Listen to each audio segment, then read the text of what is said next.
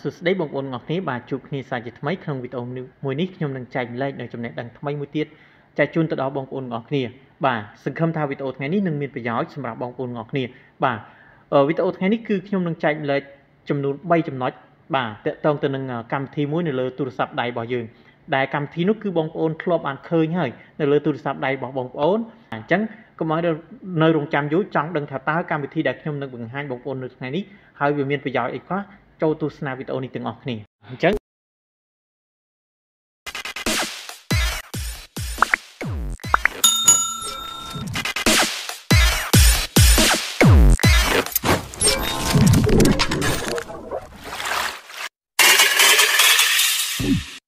ជាដំបូងខ្ញុំចូលទៅបង្ហាញកម្មវិធីនោះតែម្ដងបាទអញ្ចឹងកម្មវិធីនោះគឺឈ្មោះថាកម្មវិធី Google Lens បាទនៅលើទូរស័ព្ទដៃរបស់បងប្អូនគឺមានគ្រប់គ្រប់គ្នាបាទសម្រាប់ Google Lens នេះបាទហើយបើបងប្អូនមិនឃើញមានរូប logo បែបហ្នឹងនៅលើទូរស័ព្ទដៃរបស់បងប្អូនទេបងប្អូនអាចចូលទៅក្នុង browser អ៊ីនធឺណិតនៃទូរស័ព្ទដៃរបស់បងប្អូនទៅបងប្អូនចូលកន្លែង Google Chrome ណាបងប្អូនចូល Chrome ឬក៏ browser ណាមួយ បាទ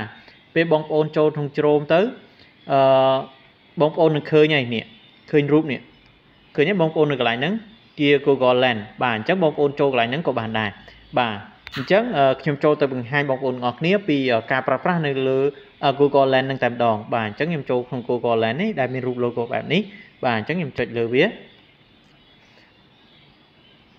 បាទអញ្ចឹងពេលចូលដល់ក្នុងកម្មវិធី Google Lens វាចេញបែបនេះអញ្ចឹងបែបហ្នឹងបងប្អូនអាចជ្រើសរើសរូបភាពក៏បាន បាទរូបភាពដែលបងប្អូនបានថតហើយយើងយកមកអឺ ប្រើប្រាស់លើ Google Lens ហ្នឹងក៏បានដែរអញ្ចឹងក្នុង3ចំណុចដែលខ្ញុំនឹងបង្ហាញនៅលើកម្មវិធី Google Lens ហ្នឹងទី1គឺតកតងទៅនឹងកម្មវិធី search បាទ search អញ្ចឹងយើងអាច search អំពីផលិតផលឬក៏ទំនិញឬក៏អ្វីមួយ ដែលយើងចង់ search បាទយើងចង់ search បានបាទឥឡូវឧទាហរណ៍ថាខ្ញុំចង់ search ពីនាឡិកានេះរូបនាឡិកានេះតាមរយៈរូបភាពដែលខ្ញុំបាន save ហើយឬក៏ខ្ញុំបានថតហើយបាទ អញ្ចឹងខ្ញុំចង់ search ពីរូបភាពហ្នឹងខ្ញុំចុចលើរូបភាពហ្នឹងមកនោះវានឹង search ឲ្យបាទបាទអញ្ចឹងនេះលទ្ធផលដែលវាបង្ហាញពីការ search របស់យើងនេះនៅខាងក្រោមនេះបងប្អូនឃើញទេ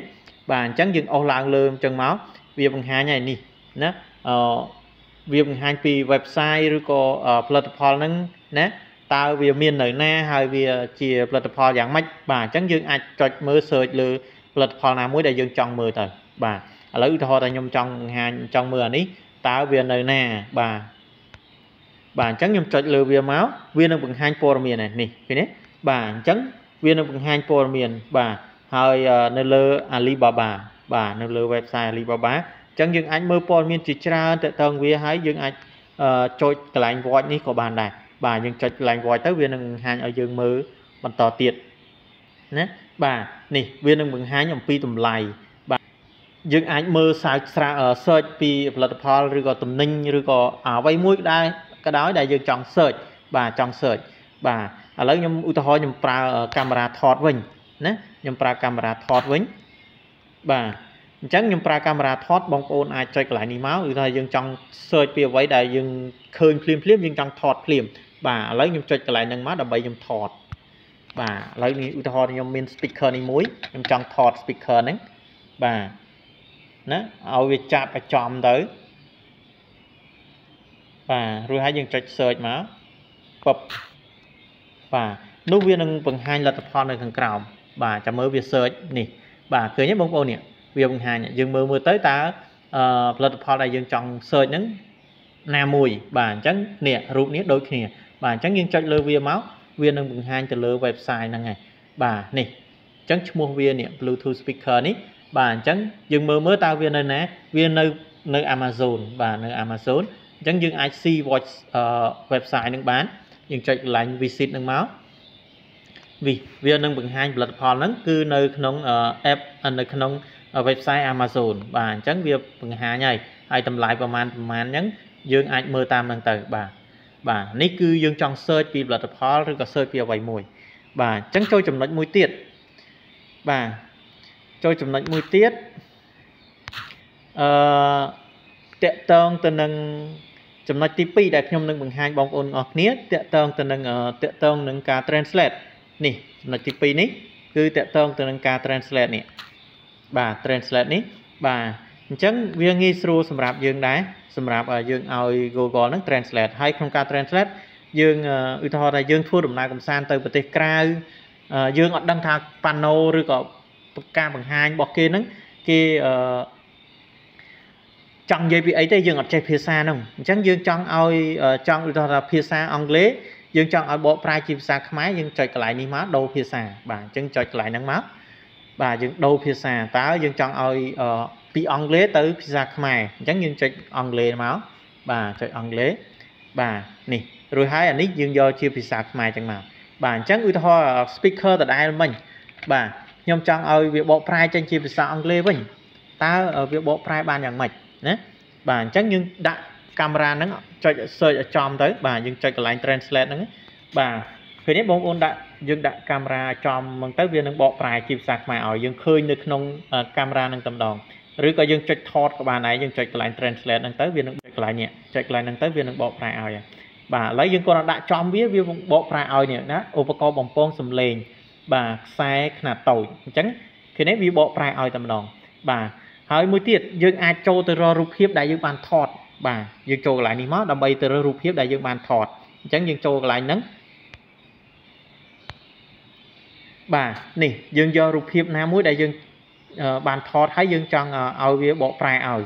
បាទឥឡូវខ្ញុំឧទាហរណ៍ខ្ញុំទៅរើសរូបភាពណាមួយដែលខ្ញុំបានថតហើយឲ្យវាបកប្រែឲ្យឥឡូវខ្ញុំឧទាហរណ៍ខ្ញុំ រើសយករូបភាពនេះចុះនេះរូបភាពនេះចាំមើលវាបកប្រែឲ្យយ៉ាងម៉េចណាបាទនេះឃើញទេបាទ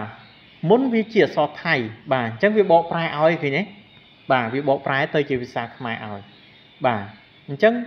វាងាយស្រួលបាទងាយស្រួលសម្រាប់យើង បាទមួយទៀតខ្ញុំអាចរើសទៅភាសាអង់គ្លេសឧទាហរណ៍ថាខ្ញុំរើស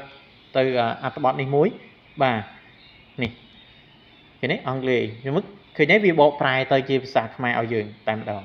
បាទអញ្ចឹងវាបកប្រែឲ្យយើងជាចេញជាភាសាភាសាខ្មែរងាយស្រួលបាទលឿនមិនបាច់អឺយូរទេបាទ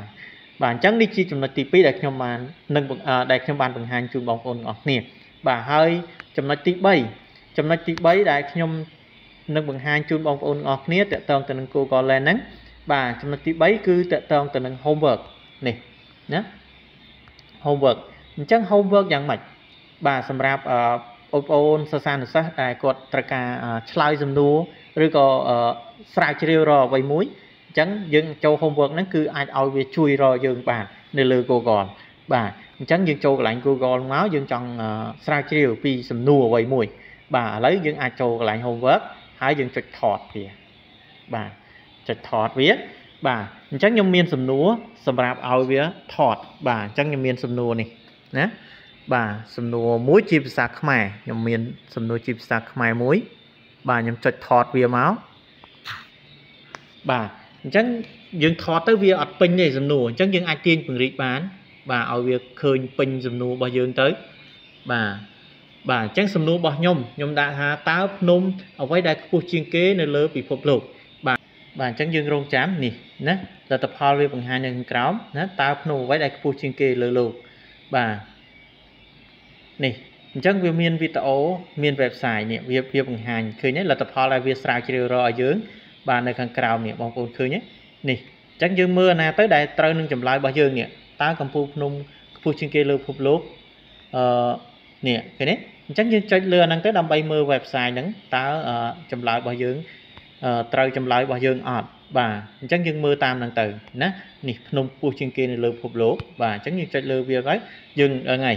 បាទតើភ្នំអ្វីនេះណាឃើញទេបងប្អូននេះវាបង្ហាញណាកម្ពុជាភ្នំដែលខ្ពស់ជាងគេលើផុតលោកអឺខ្ពស់ជាងគេបំផុតនៅលើពិភពលោកមានកម្ពស់ប្រមាណបាទអញ្ចឹងយើងមើលទៅចម្លើយតកតងទៅនឹងអឺភ្នំរបស់យើងឈ្មោះភ្នំនេះគឺជាឈ្មោះភ្នំអេវរេសឃើញទេ នេះភ្នំអេវរេសជាគឺជាភ្នំដែលខ្ពស់ជាងគេបំផុតនៅលើពិភពភពលោកបាទហ្នឹងវាជាចម្លើយរបស់យើងហើយបាទអញ្ចឹងសិស្សានុសិស្សអាចស្រាវជ្រាវតាមរយៈ Google Homework នឹងបានណា Google Lens ហើយតាមរយៈ Home Homework ឥឡូវខ្ញុំទៅស្រាវជ្រាវតាក់ទងទៅនឹងអង់គ្លេសម្ដងបាទទៅអង់គ្លេសម្ដងបាទអញ្ចឹងខ្ញុំមានសំណួរជាភាសាអង់គ្លេសចាំមើលវាវាស្រាវជ្រាវឲ្យឲ្យយើងបានយ៉ាងម៉េចណាអញ្ចឹងខ្ញុំថតអង់គ្លេសក្រោមនេះម្ដងបាទអញ្ចឹងវាចាប់ហើយវាកំពុងតែស្រាវជ្រាវរកបាទឥឡូវមើលលទ្ធផលនៅខាងក្រោមយើងមើលឃើញហើយបាទលទ្ធផលនេះបងប្អូនឃើញទេបាទនេះណាមានណា10 member state បាទអញ្ចឹងវាចម្លើយរបស់វាចេញជាភាសាអង់គ្លេសព្រោះសំណួររបស់យើងជាភាសាអង់គ្លេសបាទអញ្ចឹងវាចេញឲ្យជាភាសាអង់អង់គ្លេសបាទអញ្ចឹងយើងមើលទៅឃើញហើយ ណាមានអាស៊ានយើងមានមាន10ប្រទេសនេះ10 member state នេះឃើញទេមាន10រដ្ឋបាទអញ្ចឹងនេះជាចំណុចដែលល្អសម្រាប់ការសិក្សាស្រាវជ្រាវឬ Google Lens ដែលបងប្អូនមួយចំនួនគឺគាត់ធ្លាប់ប្រើហើយបងប្អូនមួយចំនួនធំ ដែលគាត់អត់ទាន់ដឹងថាអីអាហ្នឹងជាកម្មវិធីអីដែលគេប្រើយ៉ាងម៉េចបាទដែលយើងឃើញនៅក្នុងទូរស័ព្ទដៃរបស់យើងប៉ុន្តែយើងអត់បានប្រើបាទអញ្ចឹងនេះជាសារៈប្រយោជន៍របស់វាបាទ អញ្ចឹងវីដេអូថ្ងៃនេះគឺមានតែប៉ុណ្្នឹងសង្ឃឹមថាបងប្អូននឹងទទួលបាននូវសារៈប្រយោជន៍ទាក់ទងទៅនឹង Google Lens បាទហើយបើបងប្អូនគិតថាវីដេអូនេះមានប្រយោជន៍សូមបងប្អូនជួយចុច like ហើយបើបងប្អូនមានចម្ងល់លើចំណុចណាបងប្អូនអាច comment នៅខាងក្រោមវីដេអូនេះបាទខ្ញុំនឹងសិក្សាស្រាវជ្រាវបន្ថែមស្វែងបកស្រាយជូនបងប្អូនទាំងអស់គ្នាបាទអញ្ចឹងវីដេអូមានតែប៉ុណ្ណេះបាទសូមអរគុណជួបគ្នានៅវីដេអូក្រោយទៀតបាទសូមអរគុណបាយបាយ